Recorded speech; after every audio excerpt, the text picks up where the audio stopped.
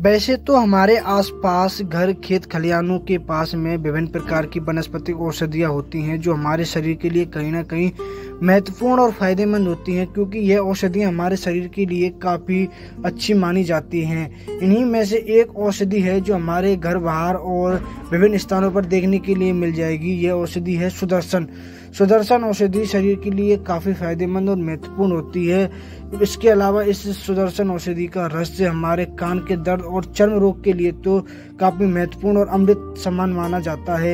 यह औषधि हमारे शरीर में होने वाले और भी तमाम रोगों को ठीक करती है, लेकिन कान के दर्द और चर्म रोग के लिए तो एक तरीके से यह औषधि का रस अमृत रस माना जाता है। डॉक्टर चंद्र प्रकाश दीक्षित बता देंगे ये औषधि हमारे शरीर के लिए काफ़ी फ़ायदेमंद और महत्वपूर्ण होती है। प्रणाम, मैं है आयुर्वेद विभाग से डॉक्टर चंद्र प्रकाश दीक्षित। आज चर्चा करते हैं अच्छे स्वास्थ्य और खुशहाली और चिकित्सा में काम आने वाले औषधीय पौधा सुदर्शन पौधे के बारे में।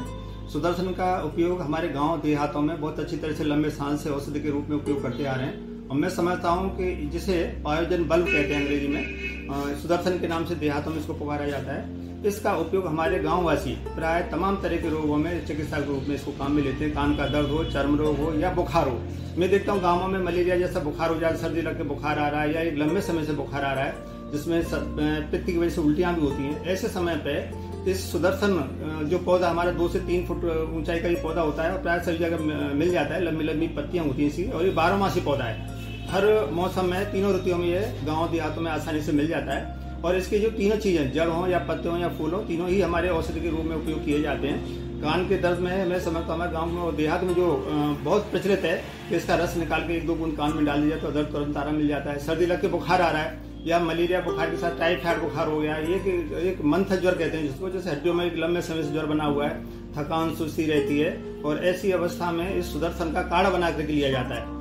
और इस काढ़े का उपयोग कर सकते हैं चार गुने पानी में इसकी पत्ती और तीनों चीज़, पत्ती, फूल और इसकी जड़ काम उबाल के और इसका जब चतुर्थ शेष रह जाता है तो इसका हम आप आसानी से ठंडा होने का उपयोग कर सकते हैं। तो इससे हमारे तमाम तरह के जड़ों में भी काम करता है। इसीलिए फोड़ा फुंसी हो जाते हैं, चर्म रोग हो जाता है तो इसमें भी इसको पीस करें। और ये प्राय हम देखते हैं गाँव देहातों में महिलाएँ काम करती हैं, थक जाती हैं, घुटनों में दर्द रहता है तो इसका सुदर्शन के पत्तियों का और फूलों का दोनों को पीस करके एक लुगदी टाइप बना करके और जहाँ दर्द रहता है जोड़ों के दर्द पर वहाँ इसको लगाने से दर्द में भी इनकी राहत मिलती है, सूजन उतर जाती है। तो मैं समझता हूँ कि इस तरह के औषधीय पौधों की हम लोगों को जानकारी रखनी चाहिए, जो गाँव देहातों में आसानी से मिल जाता है। नहीं मिलते तो उसको आसानी से उगाया भी जा सकता है। ये गमले में भी आसानी से उगाया जाता है। तो मैं इस आज चैनल के माध्यम से लोगों को बताना चाहूँगा कि इस सुदर्शन को घर पे लगा लेना चाहिए। तमाम तरह के औषधियों की इसके बारे में जाने रखते हुए औषध के रूप में उपयोग करना चाहिए। और हम तमाम तरह की ऐसी कंपनियाँ हैं जो इसको बाज़ार में बेचती हैं। सुदर्शन घनवटी के लिए, सुदर्शन काढ़े के रूप में भी ये आसानी से बाजारों में मिल जाता है, जिसका आप खरीद के उपयोग कर सकते हैं।